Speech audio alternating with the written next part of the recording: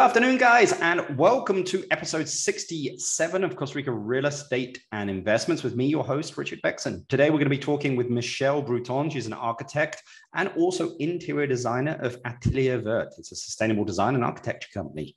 But before we do that, just want to shout out to everyone that's reached out to me. I'm actually helping quite a few of you that have listened to the podcast, which is great. Just had a couple who'd spent six months trying to find land in the southern zone of Costa Rica, um, contracted me to find it, and basically within 24 hours, I'd found the land from them after speaking to local farmers. So, uh, you know, I usually go a little bit off the reservation sometimes, guys um, which again sometimes is you know well I wouldn't say sometimes the majority of the time uh, it turns up diamonds in the rough and you sometimes get to pay a little bit less than what you'd be paying uh, of course if you went through a realtor. But anyway, let's get remember actually if you do want to reach out to me you can do info at investingcostarica.com. That's info at investingcostarica.com. Uh, we had uh, one of our listeners the other day reach out uh, and request some stuff on financing, closing costs. So we're going to be in the future, probably within the next couple of podcasts covering those subjects. Okay. But as I mentioned today, we are meeting with Michelle Broutin, who's an interior designer and architect. Her and her team work on projects all over Costa Rica. Um, and today we're going to be focusing a little bit more on sustainable architecture, you know, with a focus on the Guanacaste area of Costa Rica, which is actually where she spends the majority of her time. I actually bumped into her in Nosara. Uh, she has huge knowledge in Playa Grande because her family owned one of the beachfront homes there in Grande for many, many years. Uh, and I know for anyone that listening in on this that has been to Grande uh, because of the podcast, they completely understand what it is that I'm talking about. So remember, if you have any questions for Michelle, all of her contact details will be in the description. But let's get straight into it, guys. Good afternoon, Michelle. How are you doing? Good. How are you? Very, very good. I really appreciate you taking the time. I know you guys are pretty busy uh, out there in the field of architecture at the moment, but I really appreciate you coming on the podcast. Uh, it's a pleasure to have you here. Thank you for having me. No worries. Well, I mean, it's been a crazy two years, as I mentioned in all my podcasts, you know, and uh, I don't think it seems like it'll continue. I don't know whether the craziness is going to continue or stop or what's happening. But thinking about the last six months specifically, Michelle, I mean, what, you know, what has surprised you, but also what trends are you seeing in your field? Okay, so what surprises me the most is how much the prices went up with the pandemic. Yep. Uh, it's amazing. Like lots that you could have bought maybe before 2020 yep um, they're completely unbuyable for people who would have been able to buy them some time ago so the price is just it, it was insane because a lot of people who lived in big cities came down to live here to live at the beach to live like somewhere that they don't have to be cooped up in an apartment Yep. So that hiked up all the prices of everything, and it's amazing. And then construction prices went up a lot as well but I think that's mostly because of all the container issues that's been going on. Yep. So all the prices in construction went up as well. So that's like the most surprising thing is that it's so much, the, the difference is so big. It's amazing. I was speaking to a construction guy. Um, I was this weekend, this week actually, I was in in Guanacaste with some guys from Minnesota, and he works in construction. And he was like, well, how, I mean, how much a square foot is it here? I was like, I don't know, like 200, $250 a square foot. He was like, that's nothing. Like it's $500 a square foot in the US. So, you know, Costa Rica is still affordable to build. Yeah. You know, comparatively, it's crazy for us that's been down here where, you know, we remember when it used to be like $80 a square foot or like $70 a square foot, you know, and, um, but, you know, when it's 500 and down here it's 200, 250, you know, that doesn't sound too terrible. Yeah, I think it's mostly exactly like perspective for us who live here and who've seen the prices go up so much in such a short time. Yep. But yeah, I've also heard that about like people who have been buying houses, like already built houses, and they see the price and oh, it's not that expensive. But for me, like seeing the difference from what it was worth two years ago to what it's worth now, yep. it's just too much of a difference. It's too expensive. But you're completely correct. Like for people, some other places that are much more expensive to build and to buy homes, like it's not that expensive. Yeah. Well, you focus more on sustainable architecture and also design, which I think is interesting. But maybe you can just explain to like everyone that is listening here, you know, what does that mean? What specifically are the concepts you're incorporating or you try to incorporate in a project, you know, that you're working on?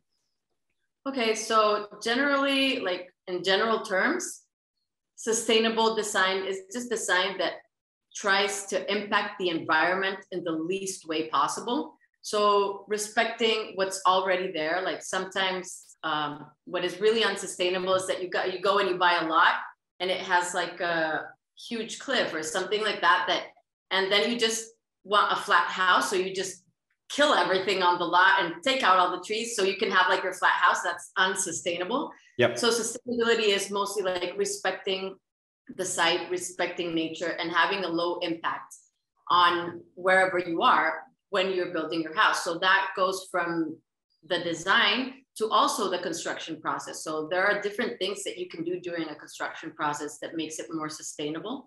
Also with material selections and finishes selections, like now we have um, more products and more materials available everywhere yep. that are more sustainable, that have recycled content, that are from FSC certified trees, that like a lot of things that maybe like 10, 20 years ago they weren't available for everybody. So sustainability was a concept that was thought of to be super expensive to do something sustainably because there were no things to do it with. Yeah. But right now there's a lot of things. There's a lot of opportunities to do that. And then you can do also a lot of passive design, which is what I like the most to incorporate in every project. Because you can also have like uh, the water treatment plants to reuse your water. You can have solar panels. You can have all of this, but these are like additional costs in construction. But if you have like a really good passive design, you may like not really need all that if you can't invest in those things at the moment that you're building. Um, so if you have a really good passive design, you can reduce your electricity consumption, your AC, like you can use the AC only at night when you're closed in the house or whatever, like you can do things like that in a passive way, which is like what I really like to do most in all of, in all of my projects because some people um, they come to me and they want a house and they don't really care so much about sustainability. So I yep. try to apply all of these other things that for them it's not necessarily like doing something extra but it's part of what I like to do, like incorporate in all my projects. Give me an idea or give the listeners here a couple of ideas of like, what's your favorite stuff to incorporate into a project? Like if you, if, if people just gave you a blank piece of paper and said like, do what you want, I mean, what stuff would you be incorporating? Okay, definitely natural light. Like for me, it's one of the most important things. And there's, there have been a lot of studies, even like for schools that have more natural light than artificial light, kids do better at school with that. So um, people function better in general in day-to-day things, like even if it's just your house, uh, if you have more natural light and less artificial light. So I do like to incorporate like really big windows and really good ventilation as well, because as you know, in Costa Rica, some like some months of the year, it's really, really, really hot. So good ventilation is always important and good lighting. For me, those are like the two key things that are easy to do and don't require any additional things than good design. Just have a good design that incorporates those. I mean, I think that they're very basic but smart things that like people overlook. I mean, when you don't do this for a living, you have an idea of like what you want it to kind of look and feel like. But like from a functional point of view, um, you know, sometimes, I mean, that's why you use people like yourself, you know, but with large windows for light to come in, meaning also you don't spend as much money on electricity. Exactly. you know, great ventilation. I saw a house the other day that had like, um, it was open at the top. It had like meshing around the top, so the hot air rose and then just kind of left, and like they had all the windows that being able to open all round, uh, you yeah. know, with mosquito netting if they needed it and stuff. But it was very interesting. You know, when they do that, like for the hot air to go up, yep. that also like the action of the hot air going out pulls in fresh air from the bottom. So there's a lot of like fresh wind coming into the house. Yeah. Like it moves the air because it's sucking in all the warmth out of the space. So that's like an easy passive thing to do that makes a huge difference in a house. Yeah, I mean, I think the majority of people that are coming down here to buy a home or build a home don't really, or maybe they do, but like don't really understand the climates here and the different times of year, you know, because again, October is completely different than March. You know, March is dry typically, we get a lot of sun, you know, and sometimes the wind doesn't blow as much in March as well. I mean, usually Easter, of course, it's absolutely deadly here because the wind doesn't blow and, you know, it's the hottest time of year. Uh, whereas October, we get tons of rain, you know, but do you deal on many houses that are capturing rainwater?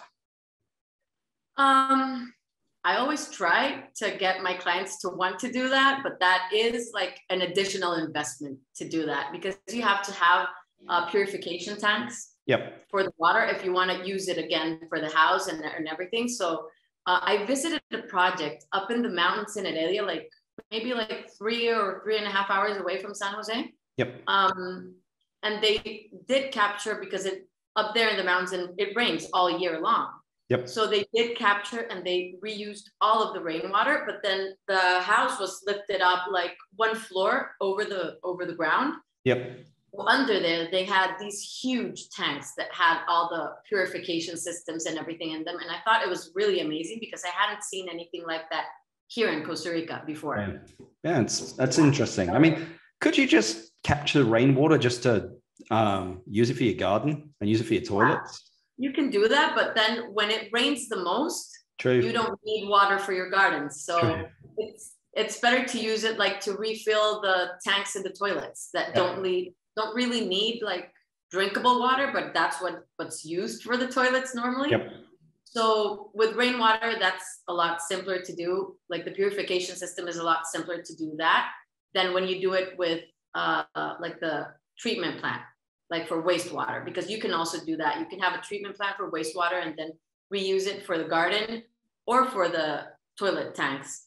Uh, but then that's a bigger investment because it has to be a lot cleaner, the water, than the rainwater. So it, it has to go to, through a different process. But reusing water is one of the biggest things that you could do in Costa Rica, especially in the coastal areas, because I don't know if, if you've heard, like in most of the coastal towns, uh, getting permits to build a new house or a new project is really complicated right now because there's no water anyway. Yeah. yeah, they're not giving water letters out, really, right? Exactly. So you need to to think of ways that you can reduce your water consumption, like for drinkable water, which is what you need the permits and the letters for that they're not giving to anybody right now. Like it takes a few months probably to get them. Michelle, people are always asking me, maybe you know this and maybe you don't, about the difference between building via kind of like sheet concrete, you know, a steel frame with sheet concrete versus actual like, you know, concrete block. Do you have any preference or any advice for people? Okay, I actually like right now one of the projects that I'm uh, we're going to start building in a couple of months. Uh, my clients are in between like doing one or doing the other because I, I well, a few years ago, I was building two houses at the same time yep. in the same area in Guanacaste in Playa Grande. And one of them was doing concrete blocks and the other one was doing the steel frame. Yep. And so we started comparing to see like if it really, because the theory is that the steel frame is faster to build so that it, it, it becomes cheaper, not because of the cost of the material, but because of the length of the construction. But in these two projects, they took more or less the same time. Wow. To build both. And they were of a similar size. Um, one was slightly bigger, but it was not that much to make like a huge difference. Um, so I'm always like on the fence on which would be like better for the project. I personally prefer concrete blocks. um, mostly because I feel it's like acoustically and everything it's different for the house. Yep. And also I feel like it's sometimes it's better for climate control inside yep. as well. Yep. Um, but I have worked with both and I really do like both. Uh, and the only difference I think in the end is that the construction time that yep. it takes. But some of them, some of the ones with the steel frame have styrofoam in them Yep. So I don't really like those because of the styrofoam. Yeah, it's not exactly sustainable, is it? Exactly. It's not sustainable at all. It's like really fast to build, but it's not sustainable at all. Yeah. So those are the only ones that I try to steer my clients away from those. It's surprising you can still do that, Michelle, when styrofoam for like uh, food here, when you like take food home, is illegal. You can't use it.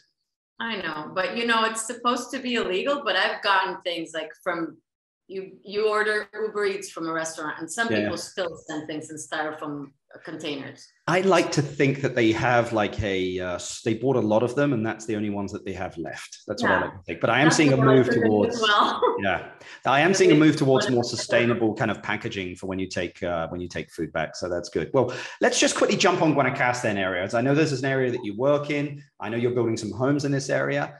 Um, I mean, and it's a big region, but I mean, what do you think people should understand about this area? What do you think, you know, what misconceptions do they have about Guanacaste you think they should be aware of? Um, maybe I think people who don't live in Costa Rica or haven't been here a lot, uh, they might think that the climate is different in Guanacaste, like different that it doesn't rain so much, and that because I've had some people that want to do like uh, houses like the Mexican style that they don't have like the the eaves of the roofs yep. like really big. And right here in Guanacaste, when it rains, it rains sideways. So yep. you basically have to have that like really take that into consideration that you have like to have like really good roofs and to protect your house because most of the living in Guanacaste you want to have like outdoor living. So if you have that doesn't have like a lot of protection from the rain, then for half of the year you won't be able to use it basically. Yeah. So those are like the types of things that are really important about guanacaste. Also the water issue like even houses that have been built a while ago in coastal areas if we have a very very dry rainy season then for the high season which is december january that a lot of people come here on vacation and people who live in San Jose go to their beach houses or rent beach houses. So it's really full, all the beach towns. And in my experience, I've seen it happen at least maybe four times, both in New Year's Eve, like New Year's season, and in Semana Santa season, yep. that water just runs out. So there's no water. So you have to pay for a tank of water to come to the houses and fill up uh, their tanks. So that's another thing that's super important in Guanacaste because that doesn't happen in San Jose. It only oh. happens in the coastal areas. So that's, uh, I can go back to the thing of reusing water, whether it be wastewater or rainwater or just have like the consciousness to incorporate some, some sort of water purification system so that you cannot, you can like help not affect the town itself yep. by using a lot of water and then coming in the high season or having a big house that sleeps 10 people in there. So it's 10 people flushing the toilets, taking showers, uh, doing everything. It's super important to keep that in mind because it well, is a real problem. I think that that goes back to finding a way to reuse your gray water. I mean, if you can find a way to do that, then theoretically, if the water goes out, you still have your toilets you know exactly. so where other people won't you still have your toilets. Okay you may not um, you know have water running from your your your you know your taps but at least you have your toilets you know which is um, you know it doesn't solve the issue but it solves half the issue. Yeah it solves half the issue and also like keeping in mind when selecting something like the toilets or the faucets or the shower heads everything to use low consumption because the older water tanks for the toilets, they consume like each time you flush, uh, they used to consume, I think it was like from six to eight liters of water. Yep. So it's just water that you're throwing away. So now they have a lot of toilets that consume like one third of that or even yep. less. So it's also like having the consciousness to to select those kinds of things. They may be a little bit more expensive sometimes, which is why people sometimes don't want them. But yep. in the in the long run, it's better for you it's better for the environment it's better for the place like the community where you're building your house so so yeah in guanacaste i think that's one of the things that's most important. I think as you get older you just realize is sometimes it's better just to pay for it up front because in the long run it's going to save you time and save you money so. Yeah. But same get... with the solar panels are the same thing. People like up front they're like oh yeah but my building like the, all the construction is costing so much. Why am i going to spend I don't know, a hundred thousand extra dollars to get solar panels to heat my water. Yep. Uh, but then in the long run, it's a very good investment because if not, you're paying much more in electricity to keep your water warm. Yeah, I agree. I agree. Well, let's change gears a little bit. I want to talk a little bit about Nosara and also Playa Grande. I know that you're very familiar with both uh, areas. Um, you know, Nosara is one of the you know most expensive areas in the country at the moment to develop. Uh, you know, Playa Guiones. But where do you think there is still you know opportunity to buy land that's not crazy priced around there? Okay, so I think if you go more um, towards Samara, like from Guiones towards Samara, all all the that like strip of space there that's not very populated. You have Garza that it's still just like a little fisherman town. It's like a really small town. You don't have big developments. So land there should be like a lot less expensive than in Guiones. Yep. But it has like the thing that there's not as much development as in Guiones. So you have to get in your car and drive longer to get to a restaurant, to the supermarket. So it has like pros and cons, but I do think like it's a nice area. And I think maybe like from Guiones, it's going to start expanding towards that size eventually. Yeah, I agree. So I towards that side is where you can get better. And maybe up in the mountains, if you don't have like ocean view, because if you do have ocean view, it's probably going to be more expensive than, than buying down in the town. But up in the mountains, it's really nice. You're close enough, and it's probably a lot less expensive. Yeah, I agree. I know that you had a beachfront home in Playa Grande, uh, so you're very familiar with that area. Myself and a lot of other people are like gung ho on that area because it's beautiful. I mean, it's you know it's a national park. There's no there's no bars on the beach. You know, it's just it's a very tranquil place. But it reminds me a little bit of Nosara from the point of view of the surf, the wellness, the national park, you know, it, and just how everything is laid out. I mean, where do you think Grande is going? I think Grande will not get to be as developed as Nosara a national park. They have a lot of restrictions there. Actually, most of the houses a few years ago, the houses that were like right, like you could go out from a gate to take a few steps and go out to the beach. Yep. Those houses lost a lot of their property a few years ago because the laws changed. Um, so they do protect it a lot. And the water issue is really big there also. So there's that. And there's then there's the part like right when you get to Grande, there's uh, a like the develop not a development, but it's called Playa Grande Estates, like all the lots that have there. Yep. They, like uh, up until maybe mid last year they still had like really affordable prices it was a hundred and twenty-five thousand dollars they're now at 175 which yeah. is still not bad there are two lots i think two lots at 179 actually yeah actually my two clients that i'm designing their houses there Yep. Um, one is in Las Ventanas and the other one is in Playa Grande Estates. And they both bought their lots right before the prices like went really, really higher. Wow. Um, and they're like thank God I bought it when I bought it because right now I wouldn't be able to buy that same lot. And they have like really good lots. Yeah. Uh, but yeah, the prices have gone up, and then they do limit construction a lot. Like they which they should do, which is good. Yeah, which is good. Do, so that's a good thing. So that's mainly why I think it won't get to be how it is in Nosara because you can't develop as much in a national park. True. True. But it's also but it's the really nice place. Yeah, I mean it's amazing. I mean Las Ventanas is beautiful. I stayed there a couple of weeks back for a week with the kids, and we had a great time. You know, they have that they have their like communal area up there which nobody goes to. Um, you know, it's a quieter kind of neighborhood. The lots are kind of large. You know, beautiful views. It's kind of set back, so if you want to, you know, you can go to Tamarindo. If you don't, you can go down to Grande. Um, you know, it's just it's just a chilled beach town. Yeah, yeah, and they have like a few small restaurants and now they have like a small gym there and they have yoga classes and so it's like a the same vibe as Nosara actually yeah, yeah. The yeah. same vibe and actually when you go out to the beach you can see like right the part before you get to the beach and both beaches is mostly like the same and the color of the sand and the type of waves so they are really similar i think the big difference between them is that that playa grande will never get to be as developed as Nosara uh, which is a good thing because then it's yeah. like a different type of place if you want to live there. I agree. Let's just jump back into building two seconds. What do you think of the mistakes that people make when they build here in Costa Rica, and what would your advice be for them? Okay, so um, let me think a little bit on that one um, because there are like different types of mistakes.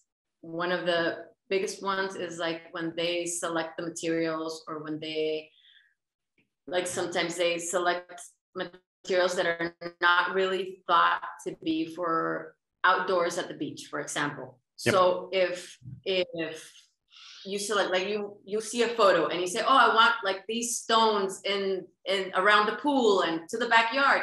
But then when it's already built, if mostly their architect if it if it were me like i would suggest like don't use that because this and this would happen but sometimes people are just yeah. set in their way they say i want how that looks so i want that whatever it is that you say why i shouldn't i want it so sometimes it's like stones that get like really really hot. So you're not able to go barefoot around the pool in a beach house. Yep.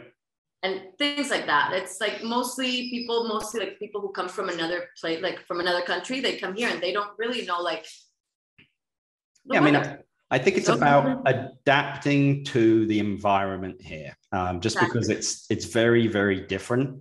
Um, yeah. And the products that we use here, you know, we use them for a reason here, and they've probably been tested over hundreds of years. So, um, yeah, and most recently. But just to jump, just to jump in, because I'm sure a lot of people ask, how much are architectural fees in Costa Rica?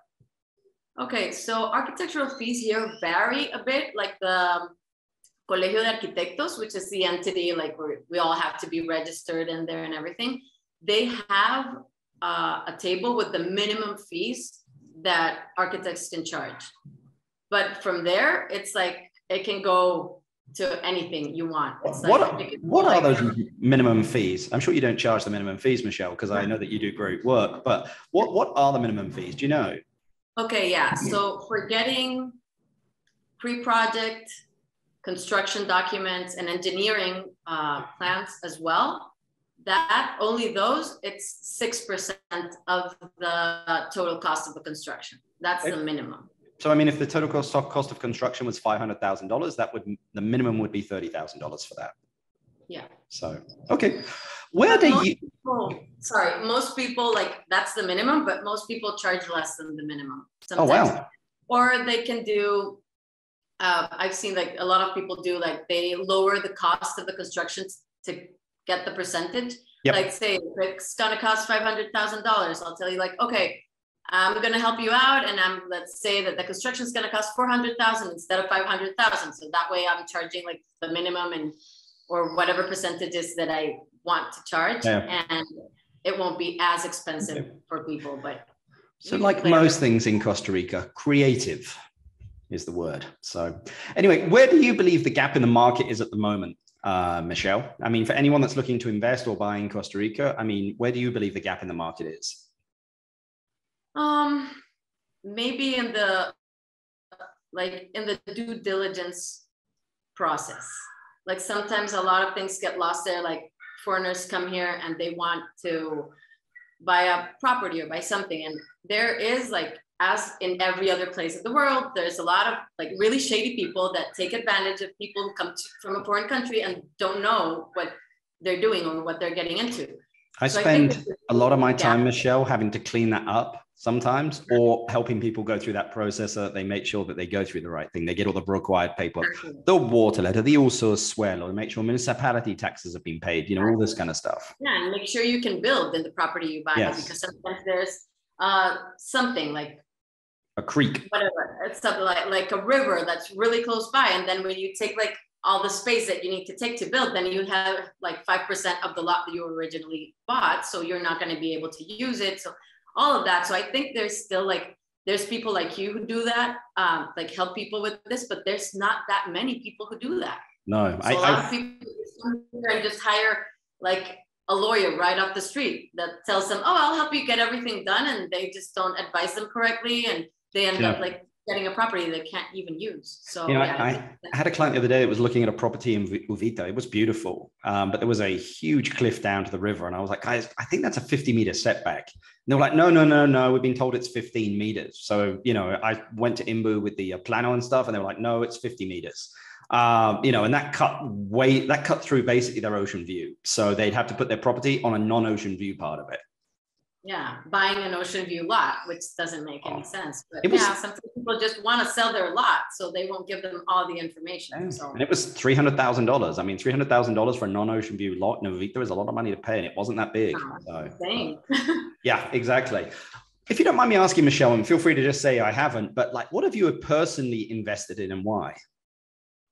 Uh, at this moment, I haven't invested in anything really, but I would really like to invest in land.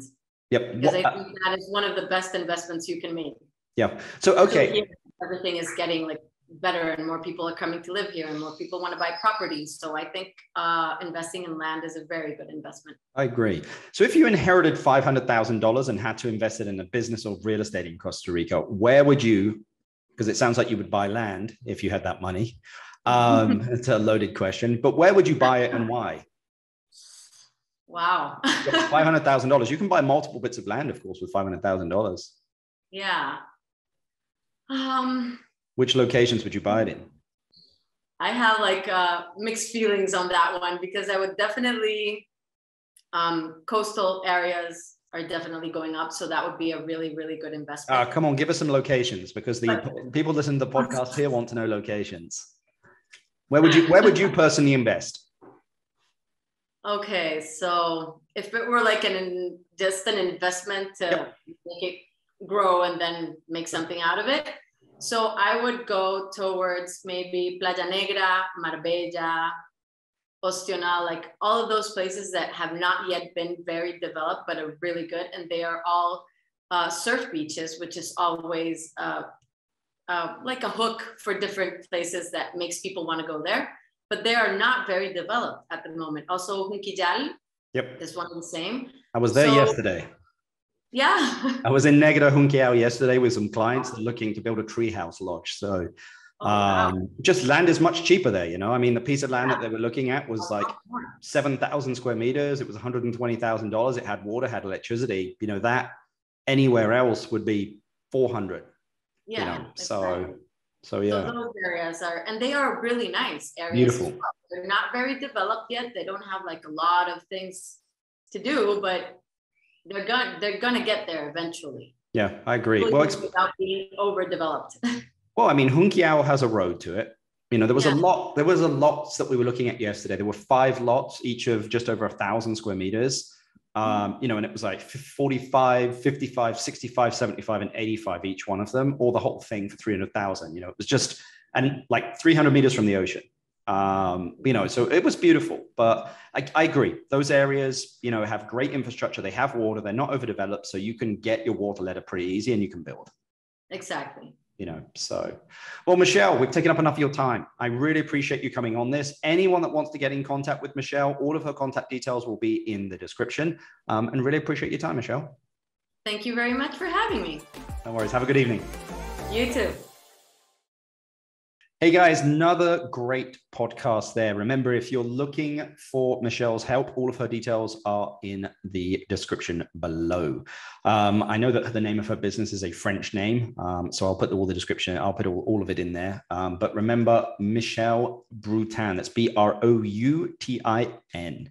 Uh, I hope you enjoyed that podcast, guys. Very informative. You know, we went kind of all over the place there from, you know, design to sustainability to construction to Playa Grande, Nosara, Negra, Junquillal. Um, so I hope that that was informative.